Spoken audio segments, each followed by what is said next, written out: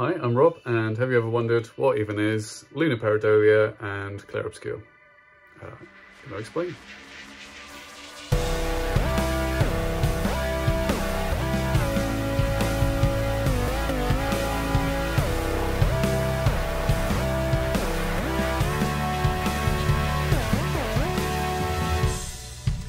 So lunar pareidolia and clair obscur. Lunar pareidolia is seeing stuff that looks like things um, on the moon. Uh, so pareidolia is just uh, a very common thing that can happen to people is that we will see what looks like a face in a sort of random thing, like a cloud or a texture.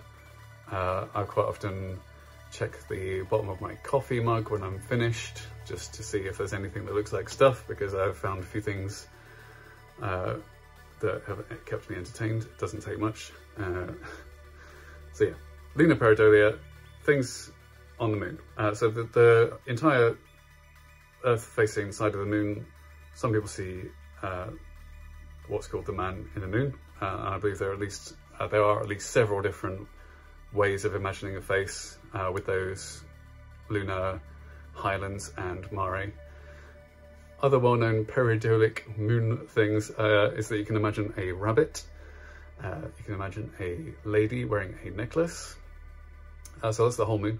When you're going a bit closer, we can start to use craters and things uh, to see if there's anything that was uh, sparking our imagination there. So a quite well-known one is the lunar fist bump in Theophilus. Uh, there is a lunar duck, and I will leave this one to your imagination.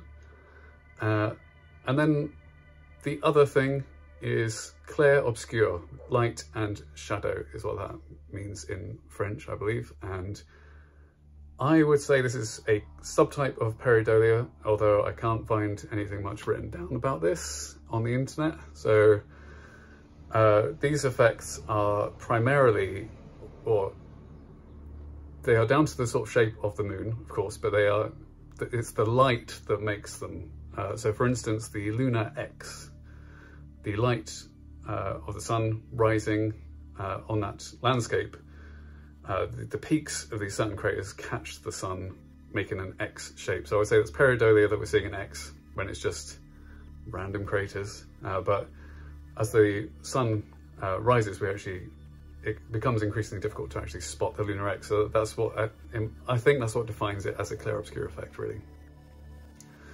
Another one of my favorites is the Moon Maiden uh, so this one to me feels a bit, I've seen it listed more under the clair obscur uh, type and I reckon it is a bit clearer actually when the light is rising in Sinus Iridum, uh, giving us the appearance of a feminine looking figure looking into Sinus Iridum.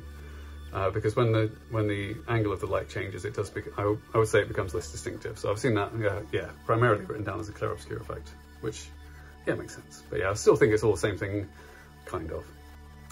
One thing I really love about Pareidolia and Clair Obscur is that we can find our own stuff. It's not like uh, there's an official list. There are some great lists of um, Lunar Pareidolia and Clair Obscur out there. Uh, but it's not like you're gonna upset, it's not like the official like naming of craters, which is handled by some kind of official body. It's a bit like asterisms and constellations where we can freely make up our own asterisms within constellations between them, but then there's the official boundaries. So yeah, that's something I love about it. The freedom to see what you want to see, uh, as I did with my moon moth image. So as far as I'm aware, no one else had spotted this. Uh, maybe they have, but I, I, couldn't find any record. As far as I'm aware, I was the first one to find it. Uh, just cool thing I noticed. Uh, from a bit wider out, I actually thought it looked like a face hugger at first, and then I decided to go down a route of uh, emphasizing the mothness of it, uh, or butterfly. I mean, yeah, same family. Am I right? Uh, getting in a lot of conundrums here. Uh, is Pareidolia the same as Clair Obscur? Butterflies and moths, same branch overall, aren't they? Is it more? Uh, welcome to my brain. I can't, uh, yeah, these things keep me up at night. They really do. Uh, so yeah, uh, do, if you spot any pareidolia or like um, recognized one beforehand or one you've noticed yourself, uh, we'd love to see it. Do send it over. Um, uh, Twitter is probably the best way to reach me. I'm at Sargo's Rob over there. Take it easy out there. See you next time.